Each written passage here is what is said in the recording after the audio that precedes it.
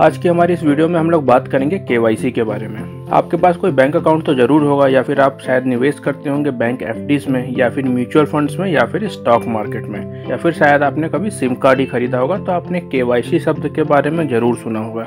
पर क्या आप जानते हैं कि के क्या होता है?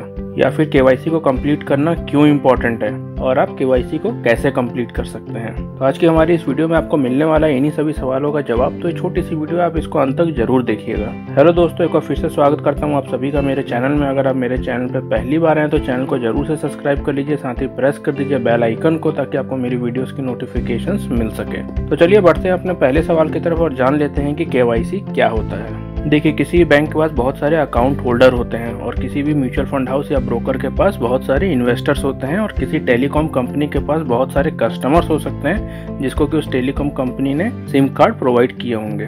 तो अब ये बैंक्स ये टेलीकॉम कंपनीज़ या फिर ये म्यूचुअल फंड हाउस ब्रोकर्स कैसे आइडेंटिफाई करेंगे कि इनके जो कस्टमर्स है वो कौन है या इनके इन्वेस्टर्स कौन है या इनके अकाउंट होल्डर्स कौन है? तो इसी प्रॉब्लम को सॉल्व करने के लिए इंडिया में ईयर 2002 में के को इम्प्लीमेंट किया गया था, जिसका मतलब होता है नो योर कस्टमर यानी कि अपने कस्टमर को जानना। इसी की मदद से कोई टेलीकॉम कंपनी या कोई बैंक या कोई म्यूचुअल फंड हाउस अपने कस्टमर को आइडेंटिफाई करता है, अपने कस्टमर्स के एड्रेस को वेरीफाई करता है।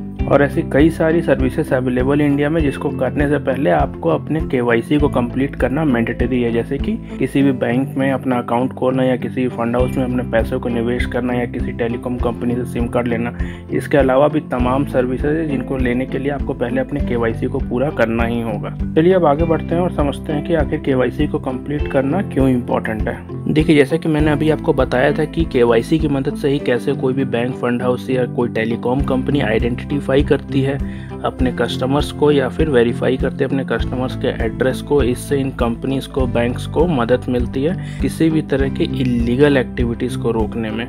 ये इलीगल एक्टिविटीज़ कुछ भी हो सकता है, जैसे कि मनी लॉन्ड्रिंग या फिर illegal funding etcetera etcetera example के तौर पर मान लीजिए कि अगर कोई बैंक बिना के के अकाउंट ओपन कर देती है तो लोग फेक अकाउंट ओपन करके मनी लॉन्ड्रिंग कर सकते हैं ब्लैक मनी को व्हाइट मनी में कन्वर्ट कर सकते हैं। तो ऐसी एक्टिविटीज़ को ही रोकने के लिए केवाईसी को कंप्लीट करना बहुत ज़रूरी होता है। ताकि इन बैंक्स और कंपनीज़ को पता चल सके कि जिस भी कस्टमर को ये अपनी सर्विसेज़ प्रोवाइड कर रहे हैं, वो आखिर असल में है कौन, उनकी आइडेंटिफिकेशन क्या है, उनका एड्रेस क्या है और रहते कहाँ हैं। चलिए बढ़ते हैं अपने आखिरी सवाल की तरफ़ और जान लेते हैं कि आखिर आप के कंप्लीट कैसे कर सकते हैं। देखिए के को कंप्लीट करने के हमारे पास दो ऑप्शन होते हैं। पहला तो होता है ऑनलाइन और दूसरा होता है ऑफलाइन देखिए, कुछ टाइम पहले तक इंडिया में ऑनलाइन के बड़ी आसानी से हो जाता था आधार बेस्ड ओ वेरिफिकेशन की मदद से। पर अभी फ़िलहाल के लिए सुप्रीम कोर्ट ने इस पर कुछ सिक्योरिटी रीजन से रोक लगा दी है। तो अभी के लिए आप ऑनलाइन के नहीं कर सकते हैं। हो सकता है कि आगे जाकर इस सर्विस को फिर से शुरू कर दिया जाए, पर अभी के लिए तो आप ऑनलाइन के नहीं कर सकते हैं। आपको अपनी के ऑफलाइन ही करना होगा। तो चलिए जान लेते हैं कि आप अपनी के ऑफलाइन कंप्लीट कैसे कर सकते हैं।